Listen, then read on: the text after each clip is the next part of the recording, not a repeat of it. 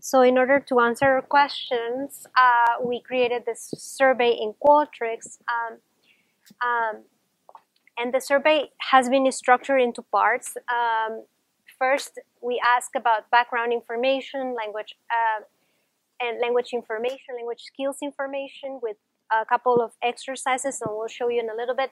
And then the second part, it's a couple of questions about language attitudes. Uh, the survey requires less than 10 minutes of class time. We ask our faculty to help us fill this uh, during class time, and it's anonymous. And the survey was provided only to first and second year because that's where we first want to work. Uh, and where we need to first identify the needed levels of um, percentages of students enrolled in the L2 classes. Um, the survey was administered the first time we did it in paper uh, during the fall of 2018 and uh, the second time we decided to go uh, digital so we did the Qualtrics in the spring of 2019 and this is what we're going to show you a little bit uh, today. Uh, and for the purpose of this presentation, as I say, we just discussed uh, section one from the survey background and information about the students, a little bit about the skills, and uh, during the online survey. So this is the survey, and I'm sorry it's very, very small, but um, basically, um, the first part we ask, the survey is anonymous, it's not an evaluation of the class, please answer the questions, we go name of instructor, course, where they come. So we keep track of how many how many uh, sections we have, how many students we get per, per section, and that way we can get uh, percentages.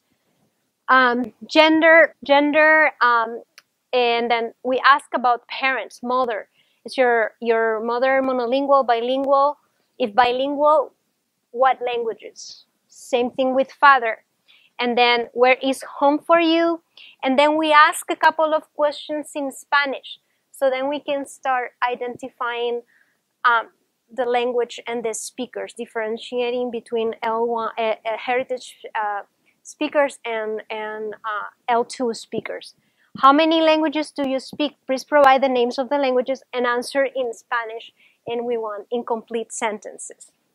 And they've been pretty good. I've been surprised how well they have followed the instructions because you know as this goes with surveys sometimes.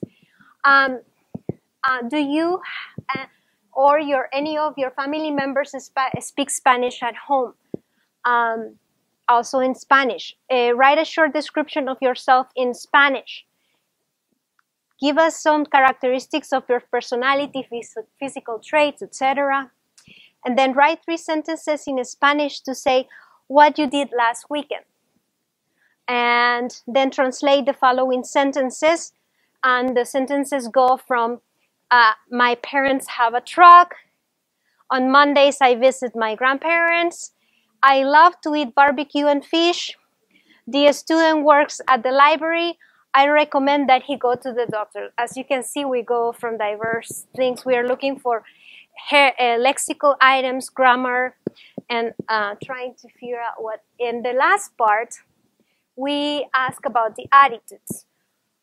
Uh, do you like to speak Spanish?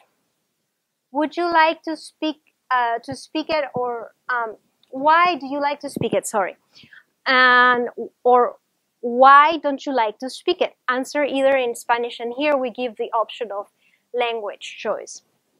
How do you feel when others speak Spanish around you?